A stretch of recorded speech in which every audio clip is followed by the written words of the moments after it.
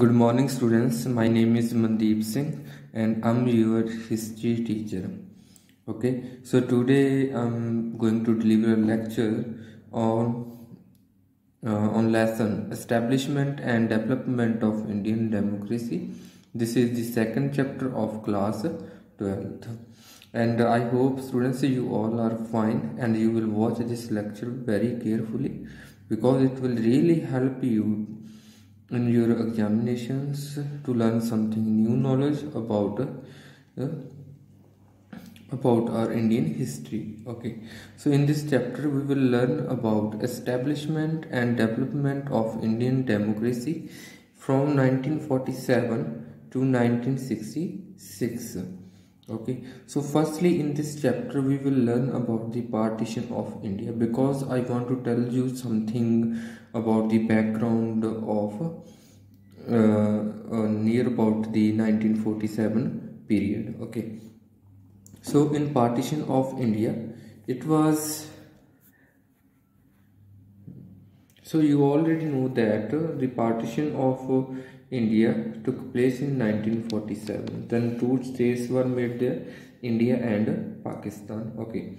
So when these states formed uh, by the British Empire, that time Lord Mountbatten, so they uh, they divided India into two states, India and Pakistan.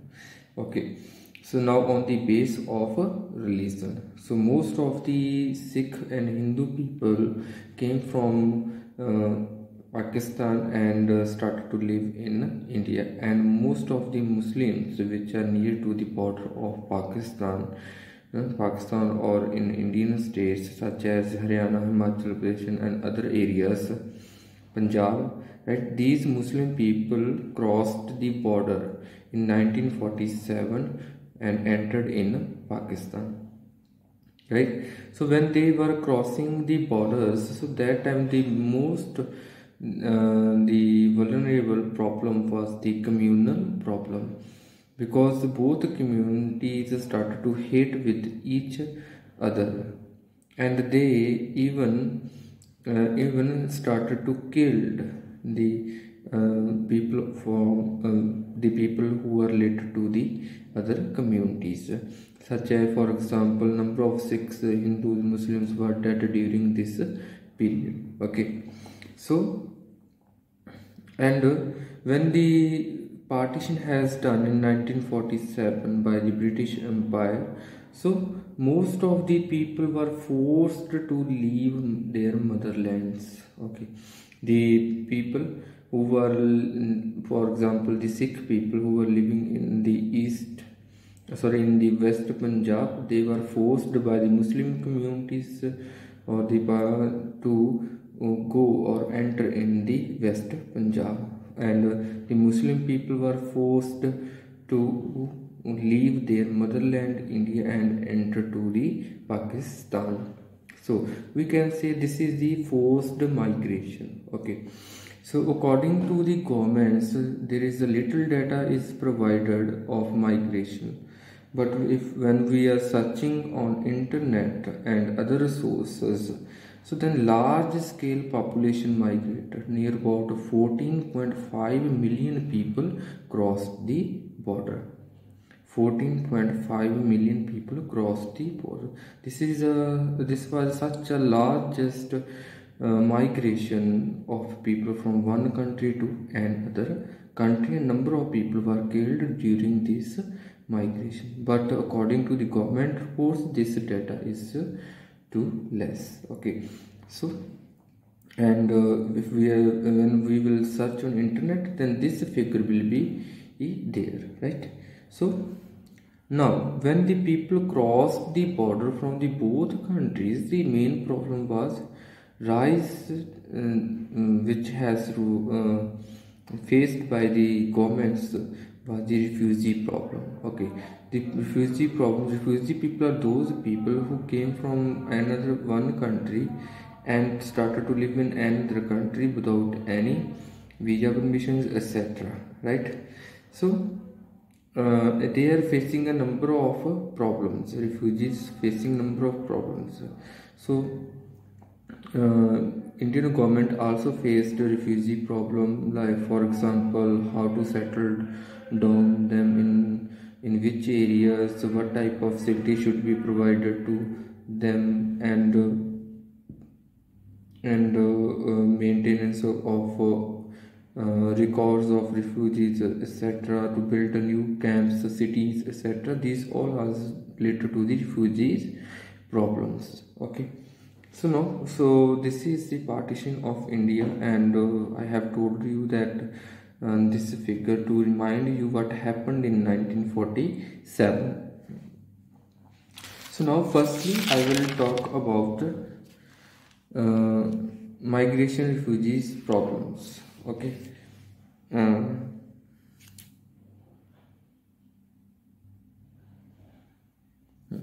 so the this problem this problem means refugees problems may be divided into three heads okay the partition is not done only in uh, uh, the both sides of punjab on the border of india and pakistan. So we will learn others uh, also here. First the incoming first uh, head was the incoming refugees from west punjab now in pakistan to east punjab. So large amount of refugees uh, started to move from West Punjab to Pakistan, in Pakistan to East Punjab. The second was the refugees from northwest frontier province. This province was stated, uh, situated on the border of Pakistan and Afghanistan. This was also under the British Empire. And in Hindi, we can say Uttar Pachmi Sima Raj. Okay. The refugees from province of Sindh. Some refugees came from uh, the province of Sindh. Mostly Hindu people came from this uh, this state and entered in India in 1947. And the last category of refugees problem, the problem related to the refugees from East Bengal to West Bengal because uh, of the partition of Bengal. Number of people were forced to leave their native lands and enter in the India or Bangladesh or East Bengal or West Bengal right? So now firstly so now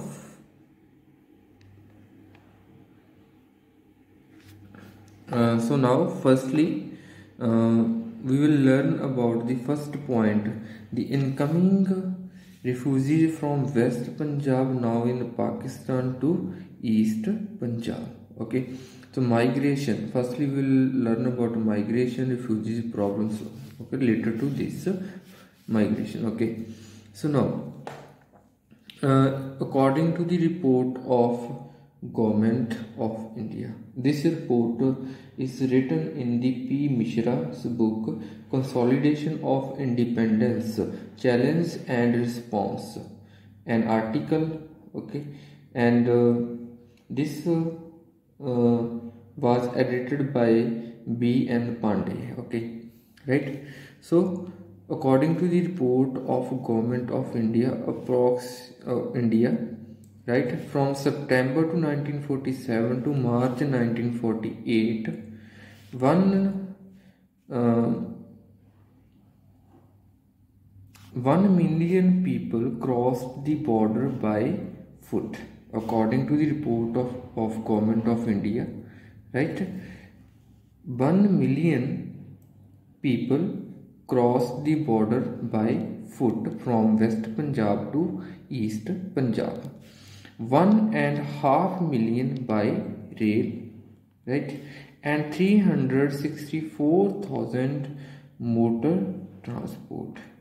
364,000 people used motor transport and 20,000 20,000 people came in India by air. Okay. So I'm going to repeat again First is the incoming refugees from West Punjab now in Pakistan to East Punjab. The refugees who came from West Punjab to East Punjab in India. Okay. The, according to the report of government, the report of government illustrates that 1 million people came in East Punjab by foot, one and a half million by rail, and 364,000 by motor transport. More than these uh, my uh, figures, 20,000 people came in India by air. So now more interesting facts about this migration are that main migration took place from September September to December 1947 September to December 1947 okay well in these four months most of the people migrated from West Punjab to East Punjab now the deaths low estimates are 2 lakh and high estimates are 20 lakh. If you will search figures according to the government, these figures are very less. If you will search on internet from the various sites, these figures will be shown by the that websites. Okay. The worst cases of violence were in Punjab. As we have watched a number of movies uh, we have seen that the trains uh, were full of dead bodies that time. People were killed in the way of migration in migration period right? Number of women were raped by the such different communities okay? So so i also uh, want to tell you that 14 uh, 0.5 million people cross the borders okay. So these are the interesting facts. You need to remember that september to december most main migration took place from september to december 1947 according to the the websites on internet and wikipedia. And deaths low estimates 2 lakh and high estimates 20 lakh okay? And worst cases of violence were in Punjab. Because Punjab is the main reason of migration most of the people who came in East Punjab or in West Punjab or go in East Punjab or West Punjab they used this state okay 14.5 million people crossed the borders according to the Wikipedia. Okay right? So now this is the migration of uh, people from uh, East Pakistan in Punjab uh, sorry from West Pak uh, I'm sorry I'm, I'm going to uh, tell you again. This was the migration of refugees from West Punjab now in Pakistan to East Punjab right now uh, when the refugees came in India, they need their houses to need to set up new colonies by government for their rehabilitation. Okay, उनके उनके पुनर्निवास के लिए भी government को कुछ करना था right इसके लिए गवर्नमेंट ने क्या किया हम अभी रिहेबिलिटेशन में उसे रीड करेंगे right no So in rehabilitation, this is the Herculean task. Herculean task means this is difficult task for the Indian government to settle down such a big number or large number of refugees, right? For this purpose, they firstly appointed a one director general of rehabilitation. Okay, and the work of general director general is that Firstly, he will distribute the lands among the refugees. Okay. Second is his main aim to providing shelters as well as jo jobs for those refugees. Okay, this is the work of the Director General of Rehabilitation. Okay, so now next. 22 million currency spent on the on this purpose okay to settle down the migrations. So 22 million currency spent on the settlements of migrations right? So apart from this industrial towns planned because a large amount of a large number of refugees came in india that time so they need a proper planning to rehabilitate these refugees in different areas okay so they also built some industrial towns and planned them okay so most of the famous towns were Faridabad, Nilokheri in Kurukshetra and Rajpura. Okay, these towns were built or planned for the settlement of refugees. Apart from this, Delhi received the largest number of refugees in India. Okay, according to the uh, so uh, according to the data, in this period, the population of Delhi increased double times because most of the refugees were settled down in this area in or in Delhi. Okay, so now housed in various historical and military locations. So these refugees housed. Okay, so government provide uh, provided them houses in various historical and military locations okay housed उनके रहने के लिए भी historical military location में उनका प्रबंध किया गया उनमें से कौन सी प्लेसेस थी such places are Uh, Purana Kila. Sorry, I have not written A here. Okay, Purana Kila, Red Fort, Kingsway Camp. And these were the military and uh, historical locations where the refugees were housed. Okay, apart from this largest refugee camp in northern India, Kurukshetra camp near panipat so this is the largest refugees camp in northern india okay so this camp was situated in kurukshetra camp okay near Panipat Panipat के पास ही कुरुक्षेत्र में एक camp बनाया गया था refugee के लिए जिसको हमने जिसको इन्होंने लार्जेस्ट रिफ्यूजी कैंप बताया है तो near about thirty five thousand people housed in this camp. Okay. Apart from this new housing colonies also set up like punjabi bagh lajpat nagar rajinder nagar nizamuddin east and jangpura. So these new colonies also established in that time to settle down the refugees who came from the pakistan to India. Okay, so according to um, watching these all uh, colonies and uh, new towns that uh, this was such a big problem for the Indian government to settle down the refugees in such a good or uh, good man manners or in a good ways apart from this Sikhs uh, rehabilitated in Punjab most of the Hindus uh, sent to the West Bengal Assam and Tripura. And some were also uh, settled down in Andaman Islands. Okay?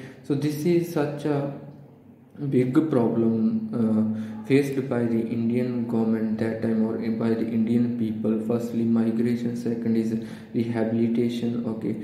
So in this uh, first point you have learned that the incoming refugees the incoming refugees from west punjab now in pakistan to east punjab okay firstly we will learn about the migration and secondly we will we have learned about the rehabilitation right Hmm. So now this was the first type of migration and uh, rehabilitation. Okay. Now second is firstly we have learned the refugees came from West Punjab to East Punjab. Now some refugees came from northwest frontier province. Okay. This was also province also under the British Empire. Right. This uh, uh, province located uh, near the border of Afghanistan uh, sorry between the border of borders of Afghanistan and Pakistan. Such uh, districts are like uh, South Waziristan and uh, North Waziristan etc right? So now this was also under refugees from northwest frontier. This is also known as N W F P right? And so this was also under British Empire okay and situated and situated on the border of Pakistan and the Afghanistan. So we can say also that this was located between the borders of Pakistan and Afghanistan. Okay. So now there was one referendum was held in 1947 by the Lord Mountbatten and they give one choice uh, in the front of the NWFP province that you have two options. One is to be a part of India and second is to be a part of Pakistan. But the government of Northwest Frontier Province they want to join the Afghanistan or they want to wanted to make a new country Pashtunia right so 19 in the referendum 99.02% of voters in favor of joining Pakistan. So this was the this was made uh, uh, this became a part of Pakistan. Okay. So migration and rehabilitation in according to this uh, in this migration also happened from the northwest uh, frontier province and uh, the people who migrated or uh, the people who were uh, refugees from this state also rehabilitated by the Indian government in uh, India. So first is uh, came from a different situation. The migration or the refugees who came from this state has a had a different situation because these all are town people. These are not from the village. These are all are town people and businessmen. Okay so uh, for the rehabilitation of these people a camp was held there along the Delhi Mathura road 16 miles south of Delhi okay? So here in this place one camp was uh, built there for the rehabilitation or for the settlement of the, the town people of northwest uh, frontier province okay? So these mostly these people were hindu people. Now they uh, for the rehabilitation uh, of these people the one new township was constructed near the village of Faridabad and the who all uh, the people who came from this uh, uh, province uh, settled down in this township. Okay? So this is the nwfp refugees came from northwest frontier province and their rehabilitation. So students in the starting of we have learned about the partition of india as, as such a background okay? And in the sec, uh, first point we have learned about the migration from the west punjab to east punjab and their rehabilitation. In second point we have learned uh, from learned about the north refugees from northwest frontier province and their rehabilitation. I hope you have understand this video in a well manner and this will really help you to gain uh, good marks in your exams.